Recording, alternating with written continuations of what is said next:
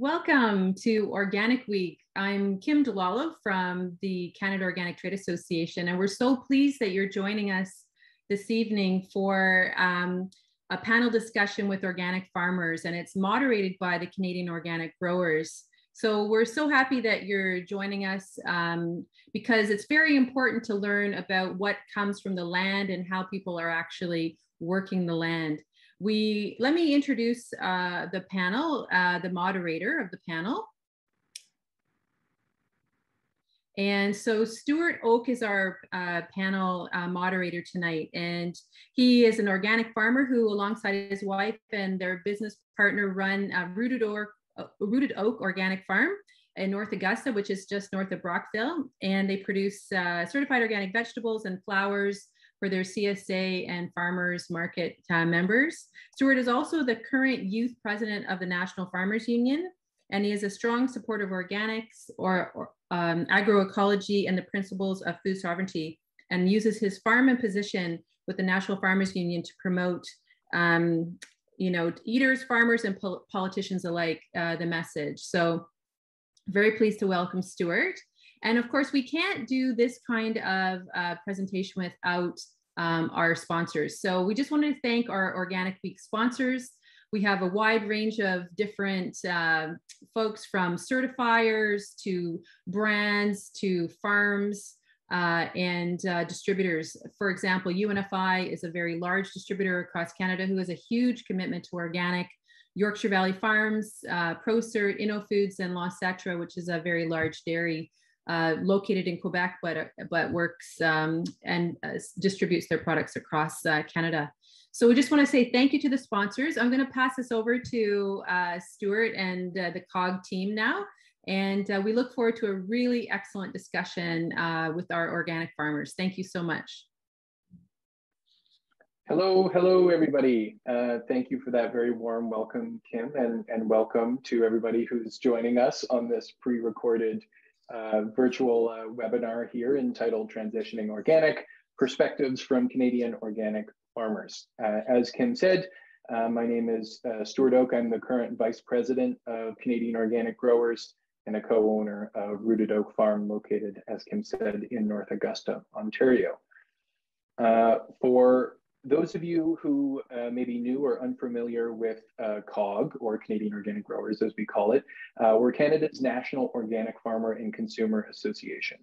COG provides education, advocacy, leadership um, in order to help build an agricultural system that empowers farmers, consumers, enhances human health, builds community, mitigates climate change, all while increasing Canadian food sovereignty. We've got plenty, plenty of things on our plate uh, that we work on on an annual basis. Uh, and on behalf of Canadian organic growers, I'd like to congratulate our partners, uh, Canada Organic Trade Association, during their 14th annual Organic Week. We're very excited to be part of the celebration again this year. I'd welcome you and invite you to check out uh, COG social media channels at Canadian Organic to find our, our great Organic Week digital programming and giveaways that are happening uh, all week this week. Before we start today's uh, panel session, I would like to take a moment to acknowledge that our conversation uh, and COG's offices are uh, being hosted and are located on the unceded and unsurrendered traditional territory of the Algonquin people. We honor the Algonquin people and their elders whose ancestors have occupied this territory since time immemorial and whose culture has nurtured and continues to nurture this land and its people. I'd also uh, like to thank COG sponsors, the Brian and Joanna Lawson Family Foundation for their generous support. In terms of today's panel, uh, we are joined here by three fantastic organic farmers from across the country. Our panelists have recently participated in one of three programs, either COTA's Organic Transition Fund, COG's National Organic Farmer Training, uh, and support programs, which include regenerative organic oats and our growing Eastern Ontario Organically program. Uh, in terms of those programs, uh, COG's Organic Transition Fund assists organic producers financially for their added costs while making that transition process to certified organic production. The uh, COG's Regenerative Organic Oat Program uh, which is funded by our industry partners at Nature's Path and Riverside Natural Food, is a first of its kind farmer support program that will bolster the Canadian regenerative organic oat supply and supports prairie organic oat growers in adapting regenerative practices to meet the regenerative organic certification requirements. And finally, uh, COG's Growing Eastern Ontario Organically, or GEO, uh, program was a three-year Ontario Trillium Foundation supported initi initiative to help farmers transition to organic production. Over the course of that program, uh, GEO directly supported 57 farms representing over 10,000 acres uh, with mentorship, financial incentives, on-site experiential learning, uh, and more. While our GEO pilot program has ended, COG is working on its successor uh, uh, called the Transitioning Farmers to Regenerative Organic, which will regionally replicate GEO's successful model in other areas of the country. So with all of that housekeeping said, and all of the rigmarole done, let's jump into our panel discussion today. Uh, we've got, uh, as earlier I mentioned, we've got three fantastic farmers from across the country.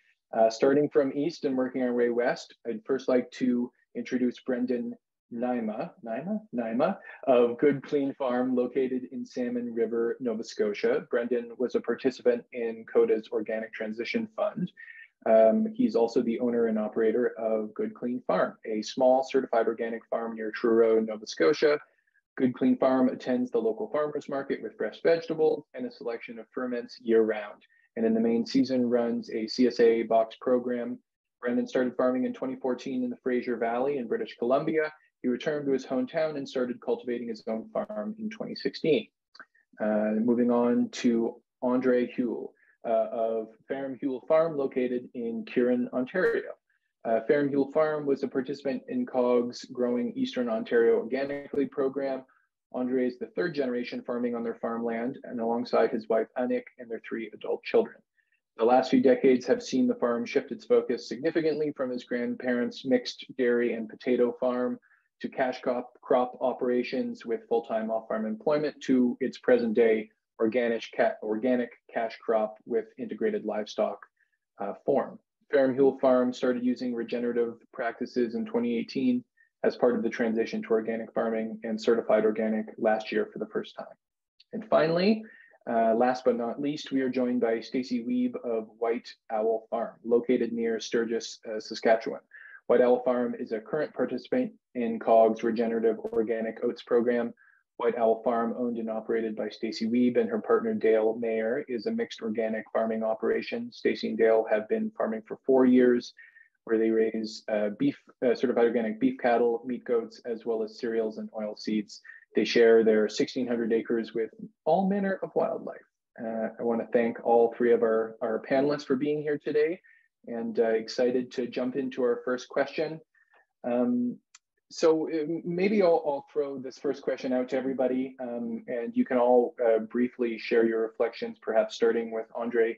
Um, what was the, the main catalyst or, or driving force behind your farm's decision to transition to organic or incorporate those regenerative farming principles? Why, why did you head in that direction?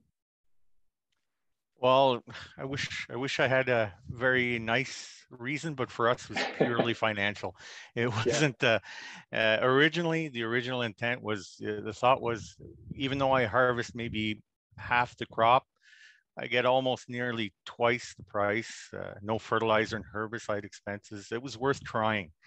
Uh, I remember saying to the other farmers, "I'll try it, and if it doesn't work, I'll spray everything with Roundup and go back to my old ways." Well, that thought lasted about a month. I bought a few books from the COG bookstore, started looking at YouTube uh, videos, uh, organic farming, and uh, I stumbled upon guys like Gabe Brown, Ray Archuleta, Regeneration Canada, and it, there was an aha moment there where um, the, the complete system is based on soil health and not just a simple addition subtraction of elements like fertilizer and stuff. This, so that's when I realized that it the conventional model just wasn't working for me. Um, and best example I could come up was my garden had always been organic, always grown, uh, provided for us, and had much nicer soil than the clay ground I was cropping, which was getting harder and harder to work and needed more fertilizer. So um, now that I am certified organic, I can't see myself going back. I mean, uh, it just for me it makes much more sense. So, uh, that's quickly my summary. Yeah, thanks, Andre. Um, uh, some some some questions percolating in my mind, but we'll we'll circle back to those. Uh, uh, Stacy, how about you?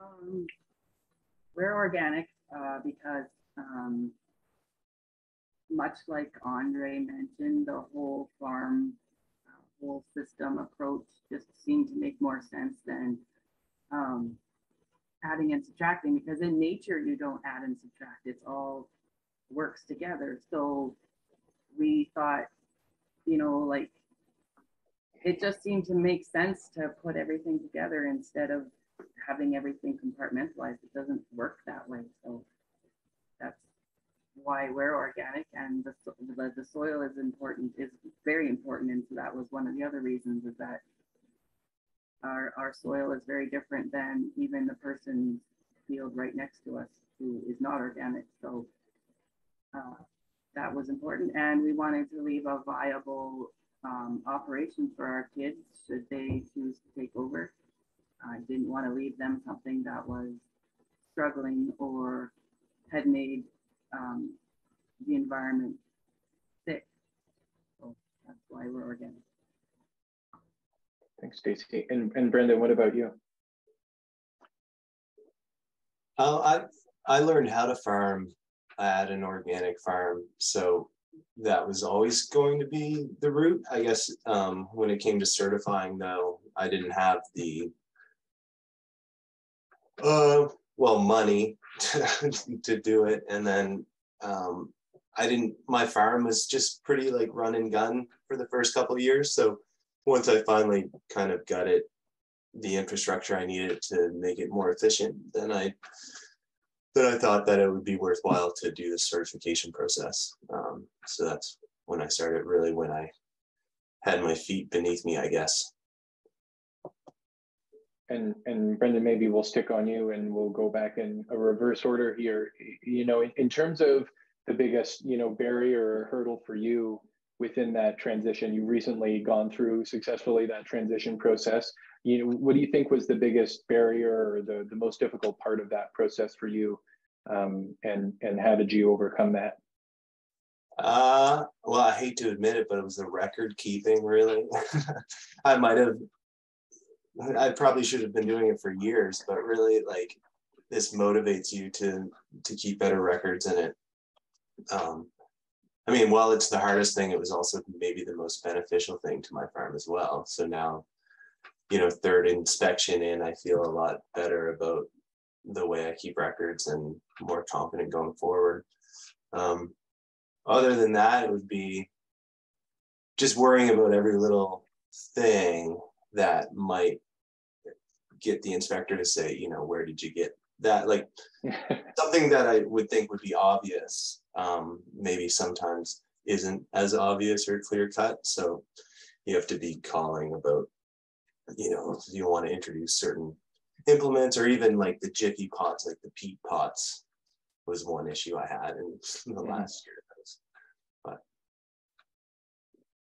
Yeah, I don't I don't know that any farmer gets into farming because they love record keeping, at least not any of the ones that I know. But yeah, I I know that we have certainly found on our farm over the years that the record keeping for organic certification has actually forced us to become better farmers because we're more more aware of um, a lot of the inputs, but we're more uh, aware just from a business standpoint uh, where where things are going and and the cost of production has become a lot clearer. And as we've gone through the process a number of times now. We've adapted our records to be in line with the organic certification, what they're asking for. So now at this point, you know, they're somewhat harmonized. And so we're not having to scramble at the last minute and reinvent the wheel every time the certifier is coming.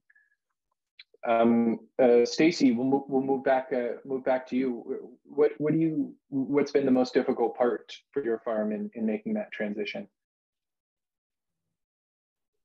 Um, weed management. yeah, yeah, um, for sure. Um, uh, yeah, it's just um, challenging, uh, uh-huh. but I guess the positive thing is um, we're not the only organic farmers in the area who have issues with weeds. So it makes us feel okay that everybody else's organic fields is uh, like the wheat mixed with, um, you know, Canada thistle. But we're um, we're working on it. We're working on like um, introducing more cover crops and other ways to to deal with things that you know will help. I hope in the long run, less tillage too. I mean, it's difficult to mm-hmm. figure out how to get rid of those guys. Yeah. Is there any is is there any management strategy that you know you're most interested in or excited about looking at sort of getting getting that weed management more in hand in the future? I mean, you mentioned cover cropping. Yeah, I think cover cropping is probably it because right now, for example, with Canada thistle, we're just using tillage. Like we just till it up in the fall and try and expose the Canada thistle and all of its many, many root bits and all those little babies that grow off those roots to, to the cold. And so, of course, you know, you're tilling your soil, and then, of course, that's not very helpful. So, like, so I think cover cropping or maybe incorporating more forage into some of our rotations is where we're going with that mm-hmm. because neither of us want to be tilling in the fall because every time we till, I'm just like, oh, we're killing the dirt. So so yeah, we we we don't want to do that anymore. And one of one of the things um, before I uh, stop pestering you about this, um, I'm a weed management aficionado, so fascinated um, with it. But uh, one of the things I know when I talk to lots of prairie farmers about cover cropping is uh, they talk about the length of the season and how it's quite difficult to integrate cover crops in a meaningful way within a prairie uh, context uh, because of the, the shortened season compared to Ontario, for instance. Um, and I wonder what you what your experience has been in that regard. Yeah, I that's definitely a problem because um, our season is 100 and maybe 120 days tops. So I think yeah. we're going to we're looking at um, like inter intercropping. So if you put your cash crop down and put your cover crop in with your cash crop, and then your cover crop grows underneath, and your cash crop comes up, and you're still harvesting. But when that's like when your cash crop gets taken off, your cover crop is still sitting in the soil over the winter time, and then ideally, I'd like to plant right into it, but that requires um, some equipment upgrades that we aren't probably going to do right away. Um, mainly that would be like an air seeder that we don't have and they're not very cheap. no. So yeah, so that's kind of where we're headed. Um, it's going to be a few year project, I think. Okay, thanks, thanks, Stacy, and and and Andre. Um, but back back to you. What, what's been the most difficult part about your transition? I was I thought I thought it would have been weeds here too, but uh, we like I said we are luckier in a way that our growing season is a little longer, and we also have more options for um, for crop rotations. So we can play a little with uh, winter wheat, uh, harvest it a little earlier, and then get some cover cropping on that manages the weeds. So in that case, we're lucky, and it didn't end up being weeds for us. It, we still have weedy fields. Don't get me wrong, but that our biggest, um, our hardest part for us was uh, finding a home for our products. Hmm. Um, mm. it, it, was um, uh, to get to sell the grains, the transitional grains was something. Uh, we went from a because of a lack of interest for infrastructure for us, we went from like a two or three year soybean to uh, one year corn rotation um, into uh, now we grow we grow we even grow cover crops for for resale. So uh, we've got uh, maybe six different types of crops growing in one year. Um, and uh, that has helped a lot on the wheat side, but finding the buyers for that and for the meat that we we've grown. Um, we can our customers that we have present customers have tell, keep telling us we have very good quality products that nobody knows about so the marketing side really hurts us. That was the hardest part for us. And and do you feel like there's is there a lack of um, you know buyer like grain buyers or uh, um, uh, close by? Uh, is it a question of distance or is it just a, a, question of you know you're not finding the demand or you're it's more about the connections and and knowing who is looking for it it's developing that network when you start off and that's that's where the geo program was so helpful. Uh, yeah. it's it's really developing the network where okay if i have this product i have these two three phone numbers i can call to get a price if they want the product. Um, and that for me that was the biggest asset for geo, yeah.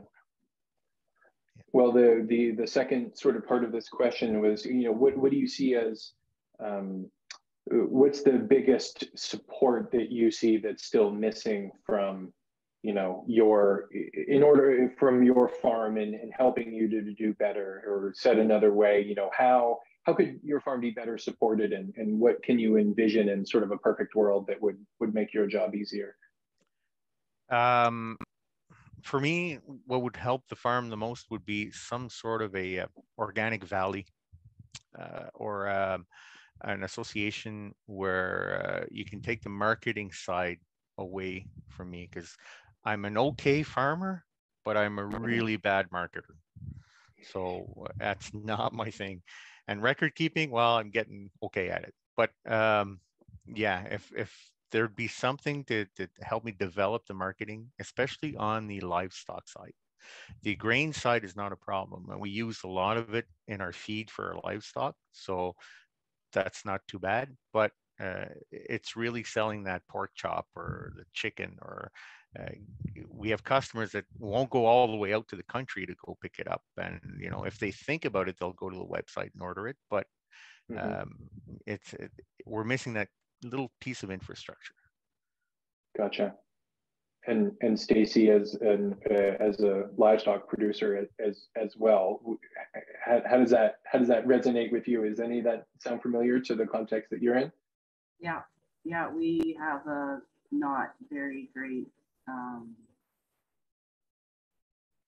the infrastructure for organic beef is not as robust as say conventional beef would be. Um, we have customers that we direct sell to, but we don't have enough customers for the amount of um, beef that we produce. And there are a few organic finishers here, but they aren't always buying. Uh, so then a lot of our um, calves and yearlings are just going into the conventional market. Um, so that's not ideal. Um, we also would benefit, I think, from more local uh, inspected um, abattoirs. We've only got like a one nearby and, you know, he's the only one. He's really, really busy. So, and I mean, that's good for him because, you know, he's making an, an income, but uh, it's difficult to schedule animals in, I guess. And so, yeah, the grain grain is okay. We usually have our crops contracted before we um, put them in. But yeah, the beef is is difficult. And I'm with Andre. I'm a I am a terrible marketer. Like I'm just it's not my it's not my strength like at all. Like I'll put me in with the cows, don't but please don't ask me to, you know, sell my stuff. so if if if yeah, I think I agree with him. That would be the thing that, you know, besides like a, a better organic infrastructure, just like uh, learning how to market better would probably benefit us. Yeah, I mean, I, I think that many farmers feel exactly the way that uh, that you do about the marketing side.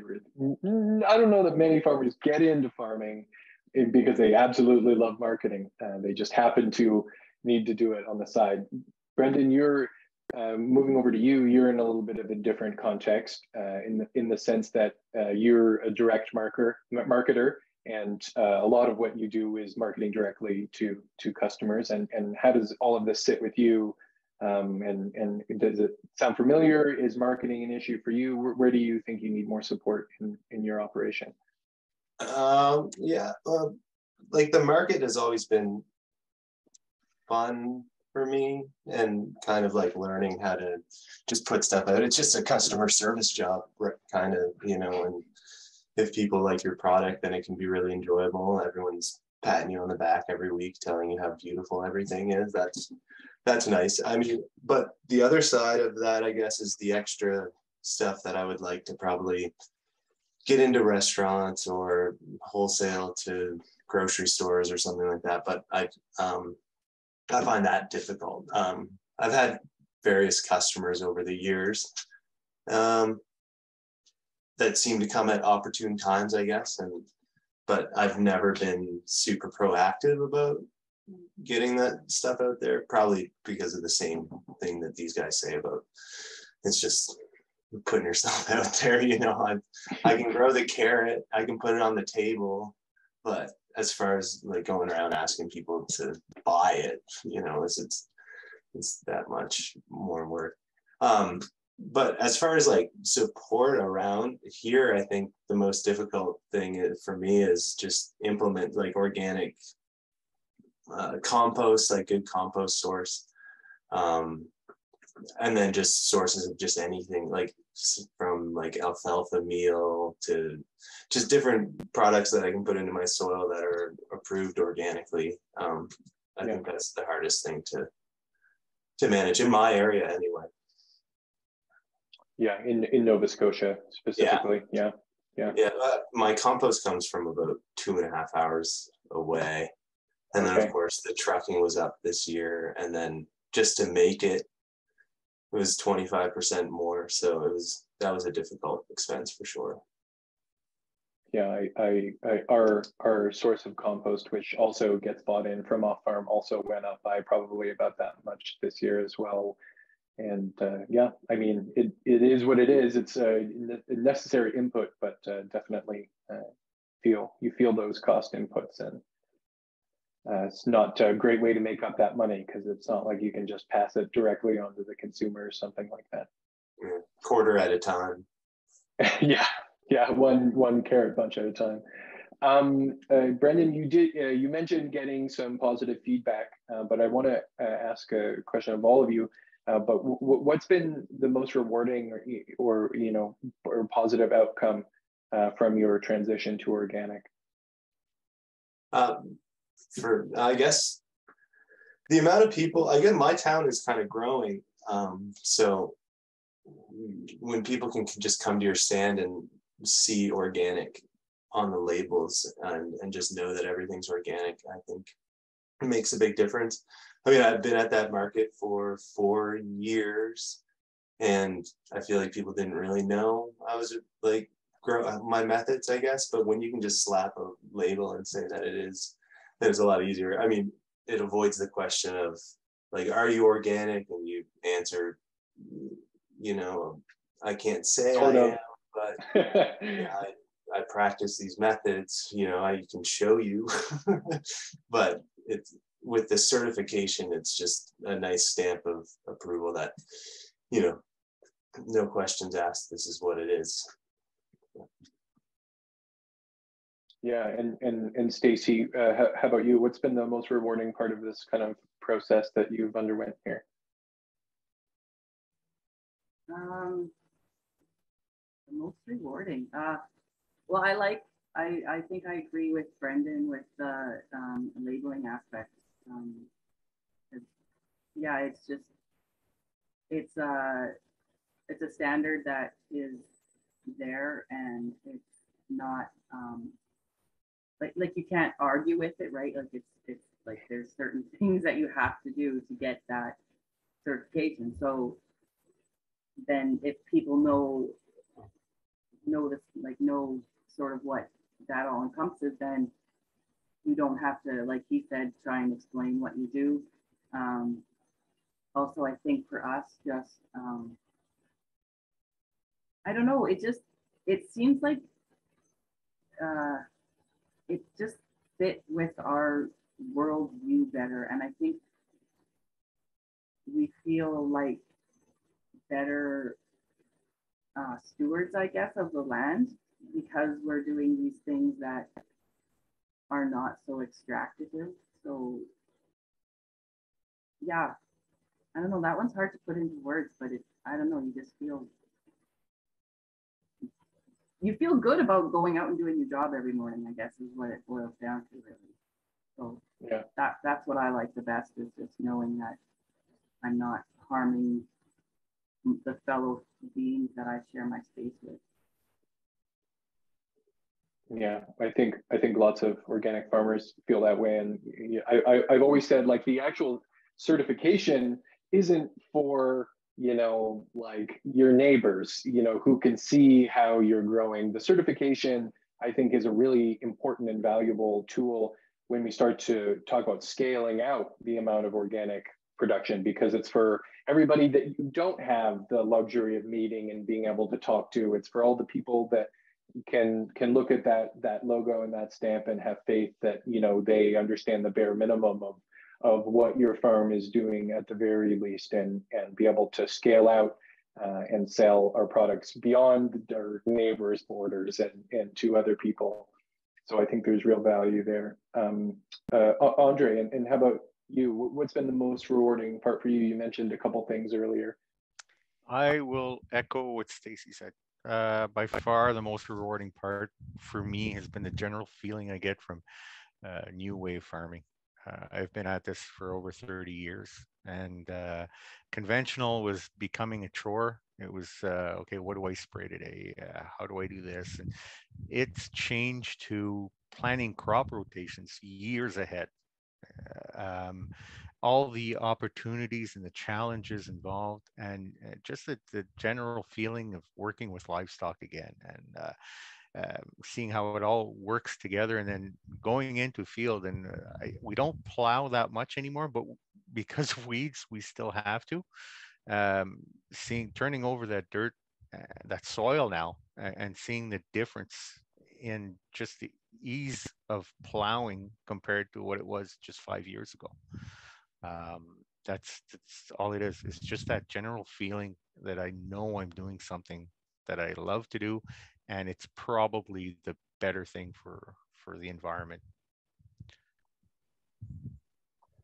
I I, I like Brendan. I worked when I, I spent almost a decade working for other farmers, all of whom were organic as well. So it never really seemed like a question for me. But I love I love this idea that you know a couple decades into your your career, you have significantly shifted how you're growing all of a sudden and that I, I imagine must have been a real intellectual like uh, leap uh, for you. It's like oh I, it's obviously not a completely different you know way of growing. There's some similar tools and there's some similar processes but um, uh, can you can you share any more reflections about that sort of uh, you know change in your in your mindset and what that's been like to sort of shift your your way about thinking about this these kinds of things Oh, it was uh, like I said before. It was about a month in. Uh, it went from being skeptical about organics and, and really seeing opportunities. And once you start seeing the opportunities and the and the challenges, and it just it's just a complete shift in mindset. You're not thinking if I put one pound of nitrogen in, I should get one bushel of corn. You're not, it's not one of these things you're, you're actually thinking, okay, now if this soil is, doesn't have any, if it's dirt with no life, uh, it won't produce. Uh, if I don't, if I keep going with uh, such a bad rotation, uh, two or three years of soybeans and one year of corn, just because I have nowhere else to sell the stuff, uh, it, it destroyed uh, it destroyed the land. Our land wasn't growing. We had to pump more fertilizer in. We had to do. Um, it's the whole mindset shift into working with nature and trying to uh, foresee what could be coming. And then uh, the feeling you get, I can try 10 different things and fail at nine of them. And I normally do. But when I succeed at that one thing, it's worth all 10 tries. And that's what makes it so much fun. I, uh, it, it so often seems to me, you know, uh, we, at least within an organic production system, the soil is so much more than just like a medium for you to stick a plant for you to then you know harvest the food on top of it and all of you have spoken in, in various ways about the sort of ecosystem that's there. And you know i uh, certainly on the farm tried to adopt uh, on our farm tried to adopt the adage of you know feeding the soil and and and not the crop and and trying to build positive soil health that way. And a lot of things about organic production force you to think about that way. And and i find it actually fairly intellectually stimulating doing a lot what you were talking about andre you know thinking about crop rotations you know years in advance and and and then actually seeing it work is uh, very gratifying uh, to for me and and that's one of the more rewarding things i i find in in my day to day um, so all of you sh shifting uh, shifting gears a little bit here, all, all, of you in, in one way or another has participated in one of those three programs that I mentioned off the off the bat. And I wanted to chat a little bit about um, to all of the uh, about all of them. And I wonder whether all three of you could uh, share some of your reflections about participating in that program and and what it what it meant for you and and uh, how how it helped your your farms find some some success. Uh, so maybe uh, Andre, we're just speaking with you. Maybe we'll start with you and work back uh, in the opposite direction. Okay. Um, the GEO program that Growing Eastern Ontario Organically, uh, yeah. I was involved in. Uh, I was one of the first participants. We actually decided to transition to organic maybe a couple of months before the program came out. So the timing was excellent for me. Um, I met with uh, Eric Berizard a few times. He was at the farm many times. The uh, just the one advantage, uh, as I said before, when you're going into something new and you don't have that network of people built, um, when you get in contact with this type of program, there's not only the knowledge, there's not only the uh, uh, the ability of the people uh, to point you to the right direction. There's also the whole network networking aspect where you find out what your organic neighbors are doing, what products they can sell, what uh, what they can help you with, what you can help them with, and the farmers, every farmer I've met will bend over backwards to help somebody else, but like me, they'll never ask for help. Uh, I, I, am you know, I can do this. I don't need the help. And, but this, the GEO program basically put everyone together, uh, offered uh, at the time because of COVID, offered um, uh, Zoom meetings uh, where they, you know, have the uh, buyer meet the farmer, or you know, the whole networking aspect, and that really, really helped in my case. That was a big advantage. Great, thanks, Andre. And Stacy, you you've been participating in the regenerative organic oat program that that COG is is trialing this year, and and how's that process? Maybe you can explain a little bit about how you interact with that program and how it's been for you, and and what your experience has been. Um, it's been good. Um, I think we well, um, we uh, well we we're sort of we were sort of a last minute addition. Um, uh, so we don't have as much, uh, like we didn't have last year um, with the sure. program, just this year. So mm-hmm. right now it's been a, a lot of information. Um, but um, the thing I'm enjoying the most is um, probably talking about the soil. Uh, we actually got our soil actually tested through the program and um, just learning what's in it. Um, I don't know, for some reason, it's, it's just really fascinating to me. I mm-hmm. also mm-hmm. liked the program um, sort of uh, like there were online meetings as well. Um, so it's nice to also uh, interact with people who are in the same program and see how they're going and understand um, the different levels of the uh, regenerative organic certification. Mm-hmm. So like we haven't certified our oats or anything yet. We didn't actually put any in this year. Um, yeah. So I think we're probably going to start um, with next year's crop. So I guess this year was kind of like an information gathering, getting to meet mm-hmm. other people who are doing the program, getting to meet the people who are doing the program. So um, we both felt like there's quite a bit of support there for it. And um, so it's probably something we would go ahead with. Like we had considered regenerative organic just in general, but hadn't really found a support network for it because it's, you know, like it's not, it's sort of new. So there mm-hmm. wasn't a whole lot of people to talk to about it. So this way, you know, you can talk to people who have been in it for a while, understand what it's like, and be like, oh, yeah, that's pretty cool. We should do that too. I know I know it can be a pretty tough decision uh, for any farmer to do anything new because uh, there's always risk involved, and our jobs, I like to think, are about mitigating risk at the best of times. Um, uh, I wonder whether Stacy, you could add anything about you know the the regenerative organic oat program. You know, is is funded by a couple companies that we mentioned at the top uh, mm. that are consumers of, uh, of oats in large amounts um, and are looking to develop and, and help support more farmers growing uh, regenerative organic uh, certified oats. And uh, I whether, wonder whether you could add any comments about what it means to know that there are companies that are looking for this product. Does that make it easier for you to sort of take the risk on either the certification process or growing uh, growing oats in a regenerative organic certified context, or do you have anything to add on on that?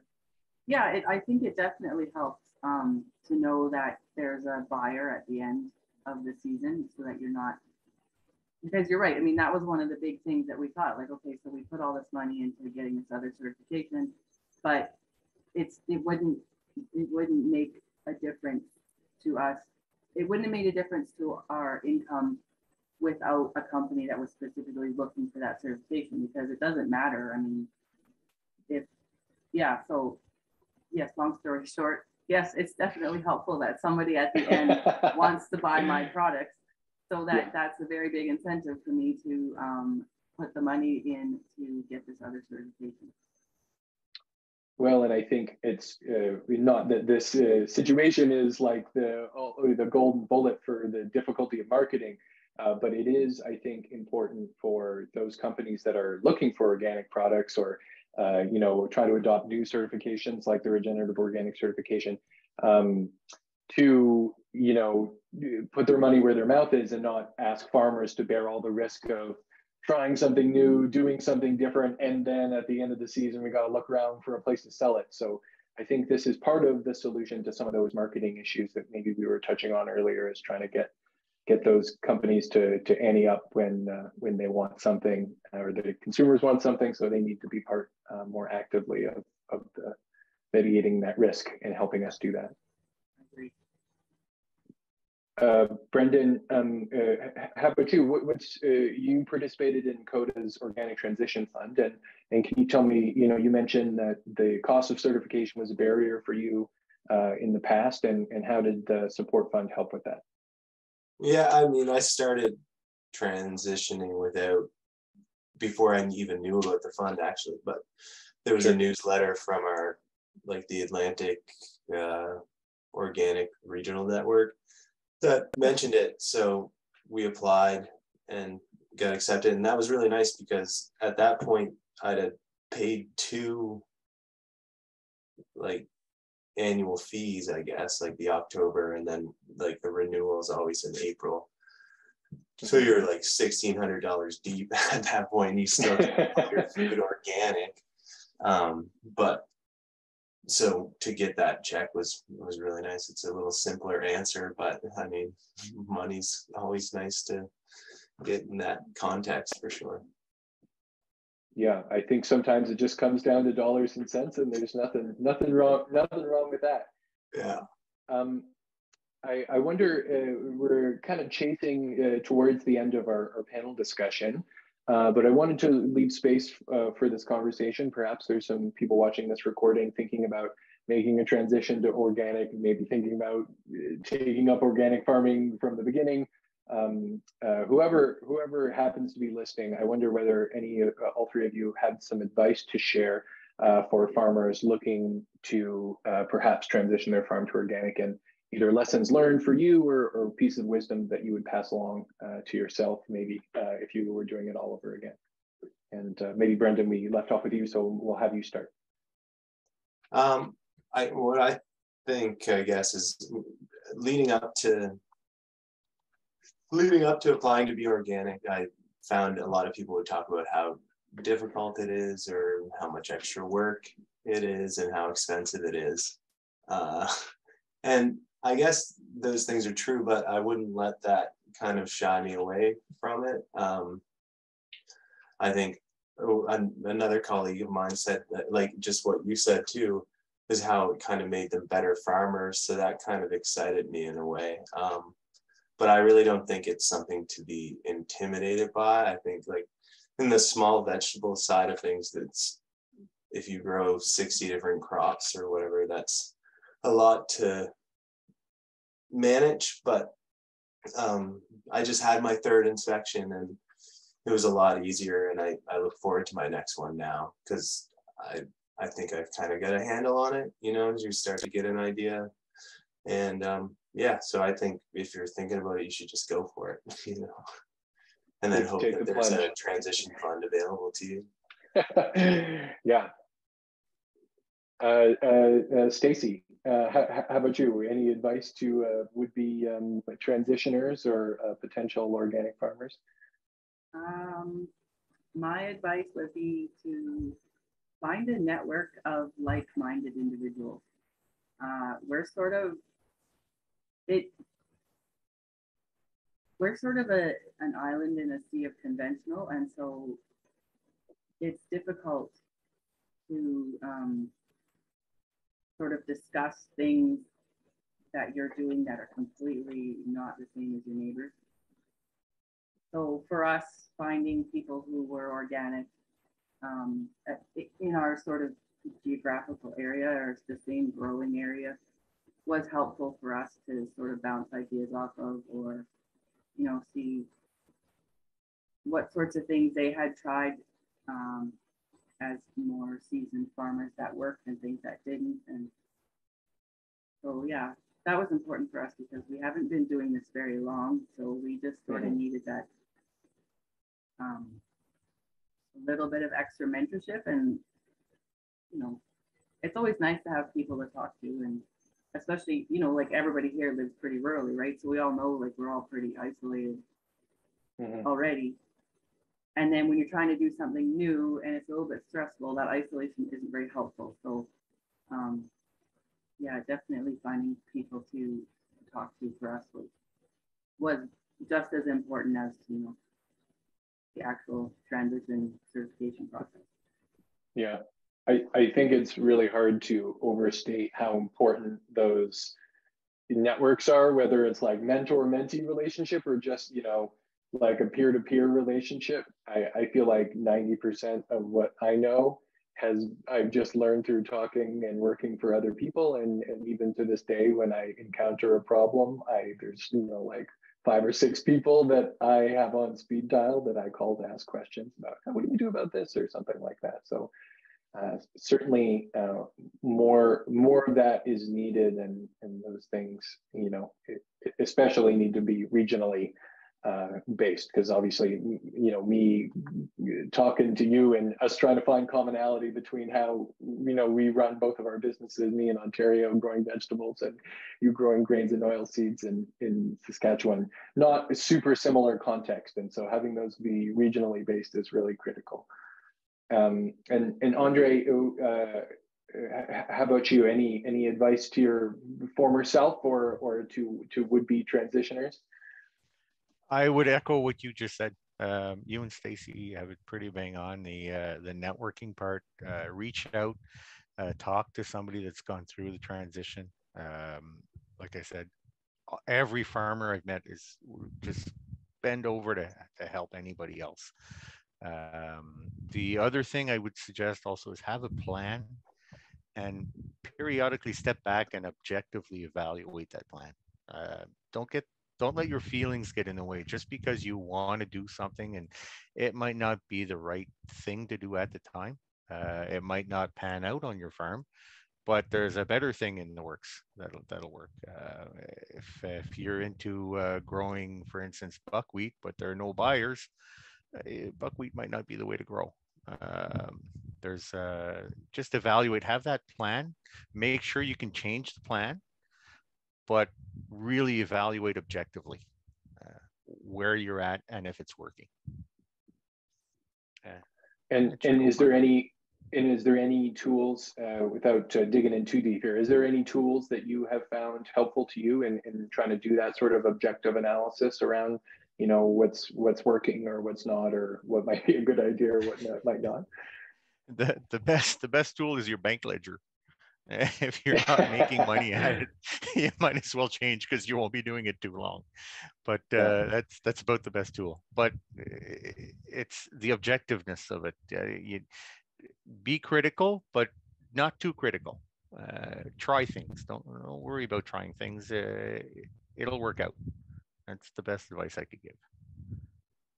Well, that that feels like a nice, comfortable place to transition into some some conclusions here. Um, I uh, wanted to, before I pass it back over to, to Kim to kind of uh, tie things off with a bow this evening, I just wanted to take a moment and thank all of our panelists, uh, Andre and Stacy um, and Brendan for uh, being with us tonight and having this uh, really fun conversation. Hopefully everybody watching uh, enjoyed us hop around from some, some really interesting organic related content here appreciate everybody taking uh, taking the time uh, to attend and, and listen. And I hope everybody takes the time to participate in some of the other Organic Week activities uh, that are happening this week and, and tune into uh, uh, COG's uh, social media, like I mentioned off the top, and, and to, to COTA's news feeds as the week rolls rolls on. So with that said, and, and thank you, Stun, I will pass the speaking baton back over to Kim. And Kim, back to you. Yeah, thank you very much. What a fascinating session. I could certainly sit here for longer and hear you guys talk. I'm so inspired by people who actually put their hands in the soil and, and you know, are farmers. Uh, I have a number of friends who are farmers, and it always is uh, truly inspirational.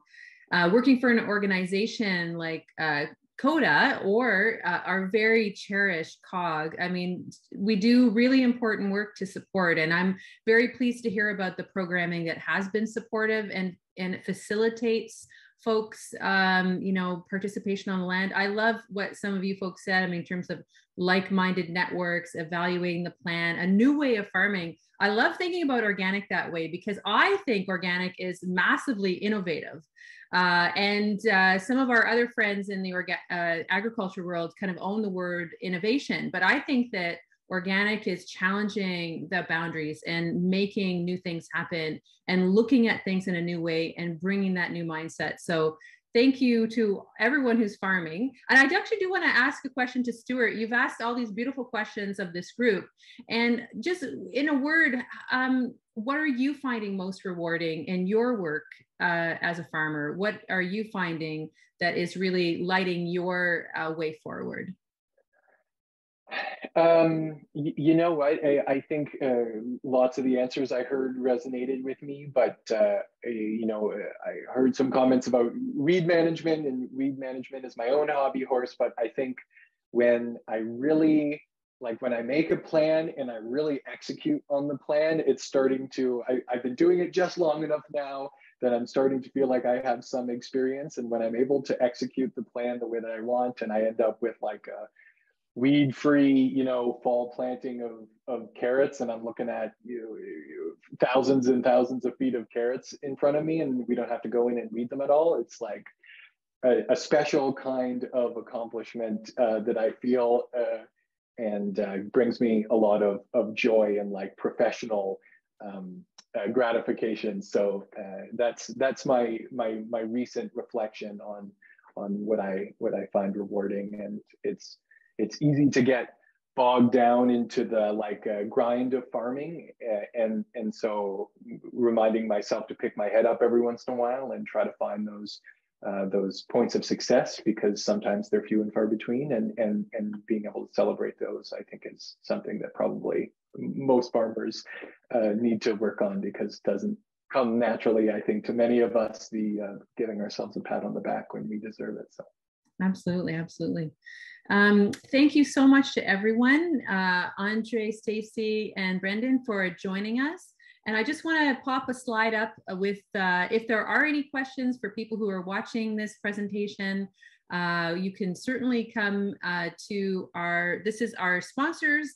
And once again, this kind of thing is not available to us unless we do have the sponsorship and that is uh, just a reality and we thank them. But yes, if you have any questions, info at organicweek.ca. There's two really great websites, organicweek.ca or semainebio.ca, um, both, uh, you know, fully bilingual and talk a lot about some of the cool things that are going. Uh, thank you, Stuart, for mentioning the other webinars. There's really cool contests and stuff in social media. And then there's uh, kind of a hub website called Choose Canada Organic and um, we have a lot of resources there in building that out. And um, so that's kind of like a community space for uh, for the consumer facing work that our organizations do. So it's wonderful to be in partnership with cog tonight on this uh, webinar and uh, and on the other work that we do together. So that i think is the the message of organic is we work together we have a larger purpose we um, set aside any kind of like challenges and we just say what is what are we trying to achieve? So um, i thank you all very very much for joining us this evening. And so for that then we'll wrap up. So um, wishing you all a very good evening and uh, please enjoy organic week september 12th to 18th and uh, we look forward to the next time we can talk. All the best